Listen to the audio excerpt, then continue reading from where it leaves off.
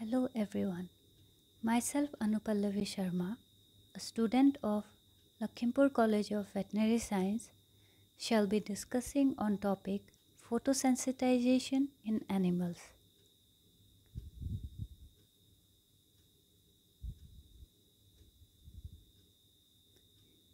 Photosensitization is a condition where animal shows marked sensitivity to sunlight following ingestion of photodynamic substances. In animals, areas lacking hair, wool or pigmentation are mostly affected.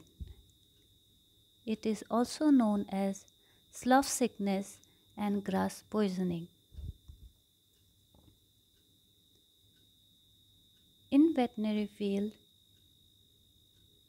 cause of photosensitivity are mostly plant derived. Also, a wide range of bacterial and fungal chemicals may act as photosensitizing agents. Commonly affected animals are cattle, sheep, goat and horses. The time interval between exposure and onset of clinical signs depend on type of agents, its dose and exposure to sunlight.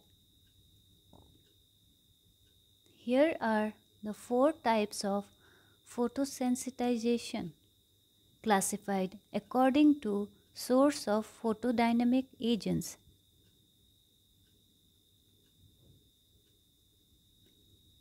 First, primary photosensitization which causes type 1 photosensitivity. It occurs due to ingestion of certain plants or photodynamic agents. For example, in cattle and sheep, ingestion of Ammi majus that is bishop weed and Cymopterus watsonii that is spring parsley causes primary photosensitization.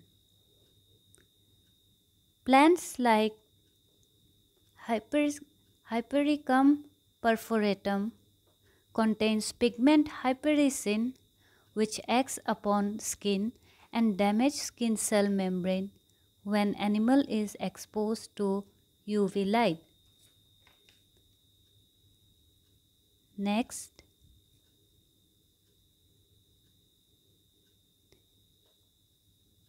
Type 2 photosensitivity is caused by aberrant pigment metabolism.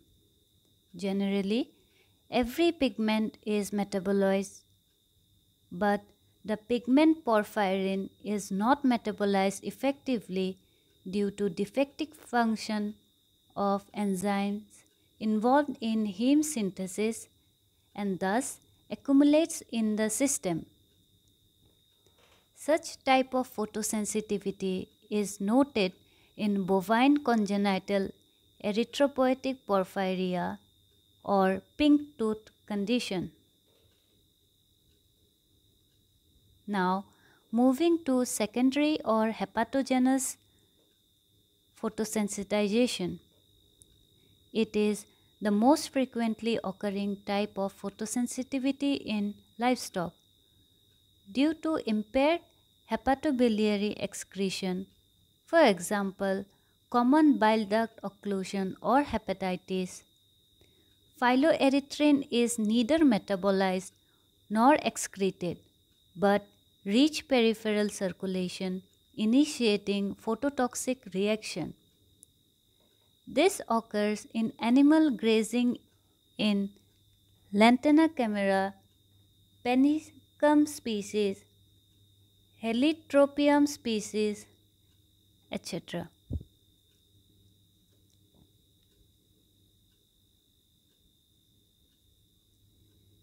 The last type of photosensitization is idiopathic.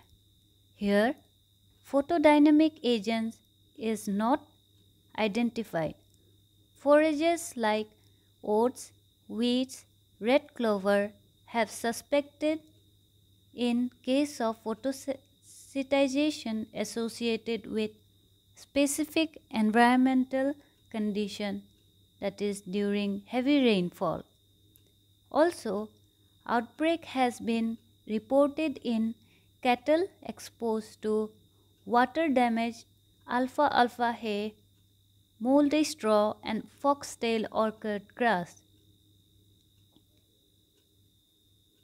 Now, what are the clinical findings and lesions we may observe? They are animals are photophobic in nature. Scratching or rubbing of exposed area of skin are seen. Lesions in non-pigmented or hairless areas, for example, in udder and nose are observed. Rapid erythema is followed by edema. Prolonged exposure to UV light leads to vesicle and bulla formation, serum exudation, ulceration, scab formation, and skin necrosis lesions are seen. Final stage includes skin sloughing. In cattle, exposed to tongue results in glossitis and may develop epiphora, corneal edema, and blindness. In hepatogenous photosensitivity, icterus may be present.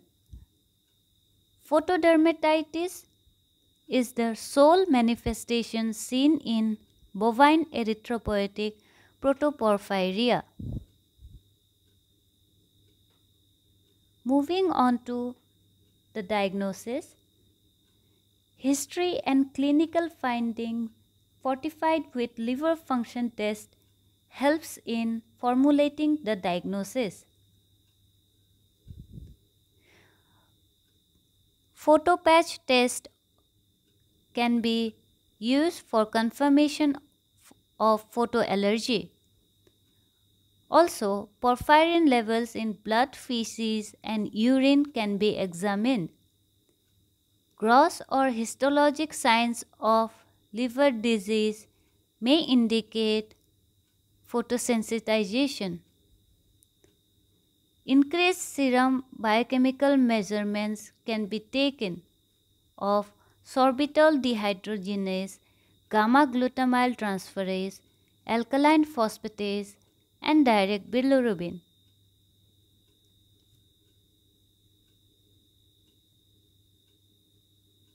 Moving on to line of treatment, we can use corticosteroid, for example, prednisolone at the rate of 1.1 mg per kg body weight per day orally for 10 days. Second, a course of antihistamines for 3 to 5 days. Third, a course of liver extract can be given parenterally.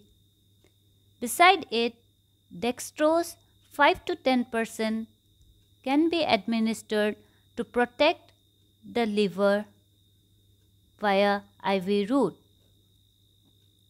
Fourth, as local treatment, astringent lotion can be applied topically over the affected areas and fly repellent can be sprayed to avoid contamination by arthropods.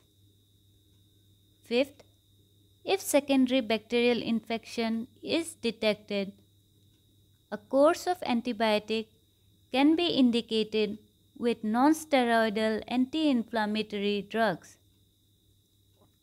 Lastly, some protective measures should be taken care of like the animal should be kept in shade and housed during daytime and allow grazing during darkness. Avoid exposure to sun rays and chemicals or plants. Thank you for your patience listening.